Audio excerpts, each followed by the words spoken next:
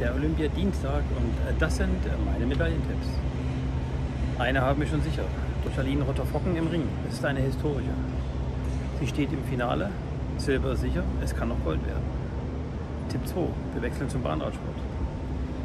Auftakt der Wettbewerbe, und zwar nicht in Tokio, sondern in Izu, gut 130 Kilometer weg. Hier haben wir zwei ganz heiße Eisen im Feuer.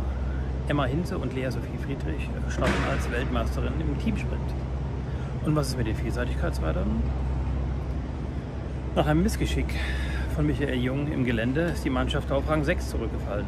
Aber es geht immer noch um eine Medaille, und zwar im Einzel. Julia Krajewski startet als Zweite ins Finale springen.